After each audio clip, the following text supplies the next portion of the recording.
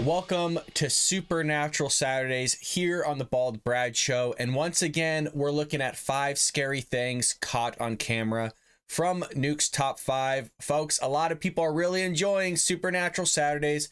So be sure to hit that like and subscribe button. Share this link with your friends and family all over social media. With that being said, let's jump into the video.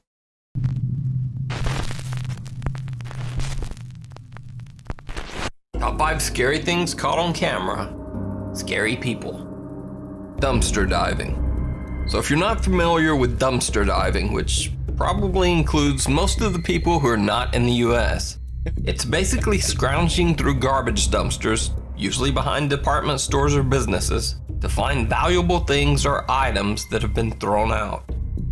Well, in this video, these guys aren't so successful in their dumpster dive.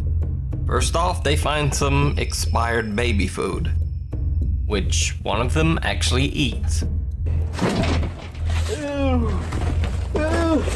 Jelly said he saw like an apple and pear one or something like that. Give me an apple and pear. What is that? Squash? Yeah, I'll take squash. Really squash? Yeah, let me get squash. I like Dude, grab squash. one of them drinks. Let me get it. There we go. Grab one of them drinks right All there. right. I mean, it is oh. sealed. but- In the mouth? No, no, no. We gotta see it in the mouth. That's not bad.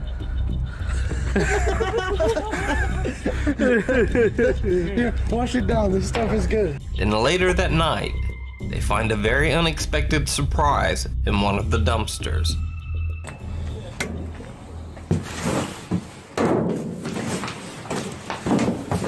No, no, no, no, no. It's moved in there, guys. Guys, guys, guys, guys. Moved in there. I'm not even joking. I'm not even joking. Moved inside of that dumpster.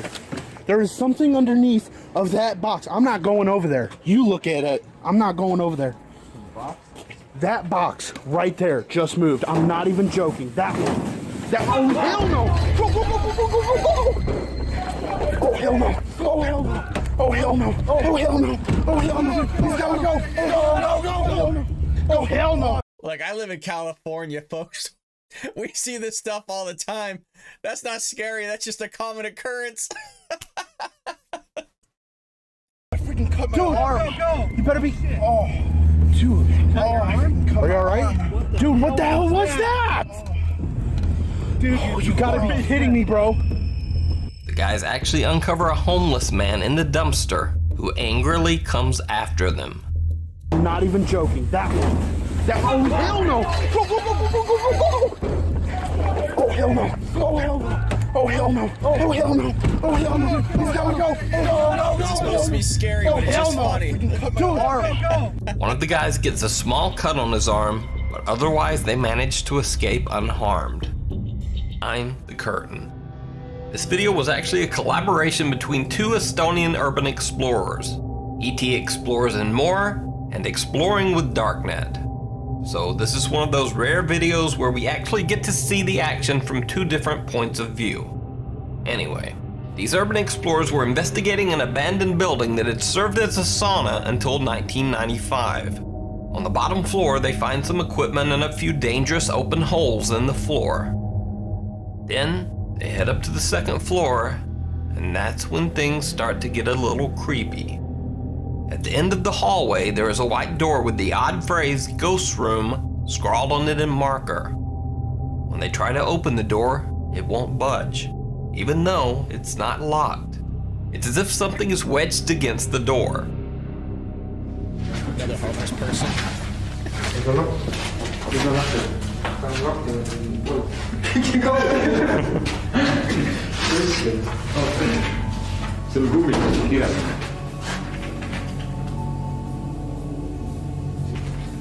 See on nii kinni, et ma saan lihtsalt alt on, alt on kinni. jah, tegelikult ei ole. mis nii kinni saab olla.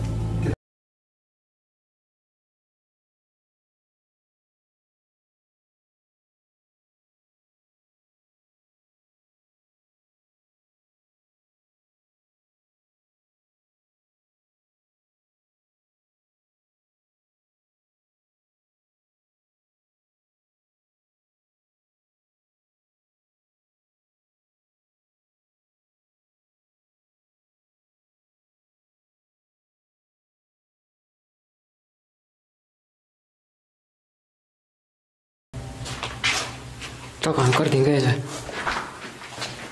paistavad veel ees. ma ei. äkki saab ringi tulla. viigime sealt. oh, taga on jah mingi kardin ukse ees, või millal, vaip. see on küll nagu siuke creepy. One of his friends warns the explorer who calls himself Darknet that he shouldn't continue. sinna ma ei läheks.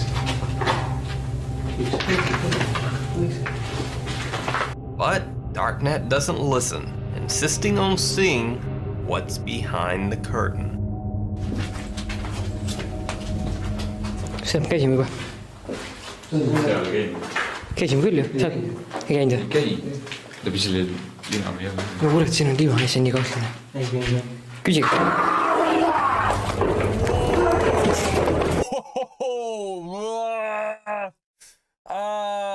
dude. Why do I put myself through this? Jeez. I'd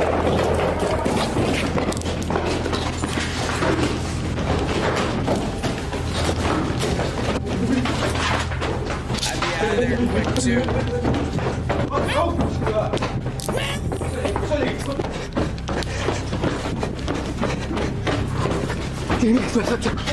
läbi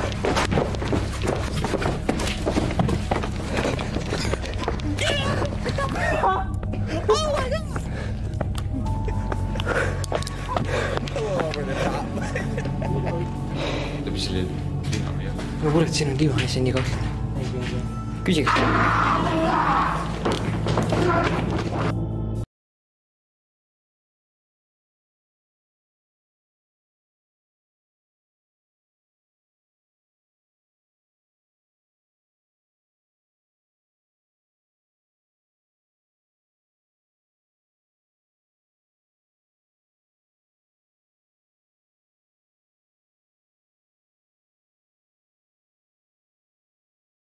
Creeping around the corner.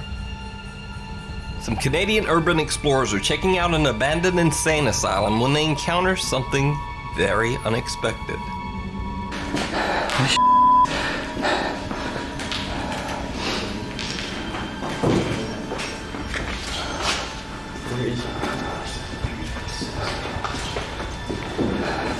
This is like the psych ward. This is where they kept the crazies.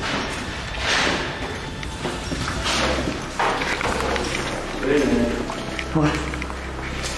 What's that? Security? What is this? Shh, shh, shh. Shh. Did you hear that? Man, that was coming from upstairs.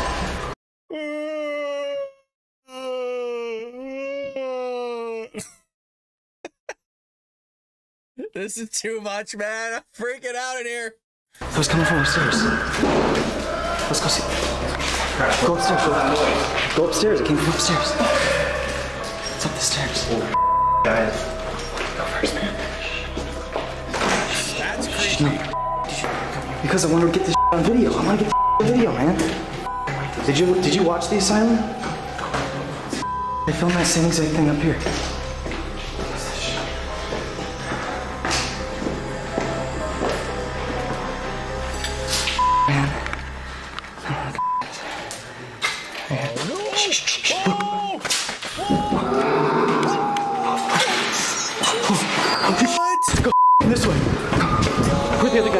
The guys go?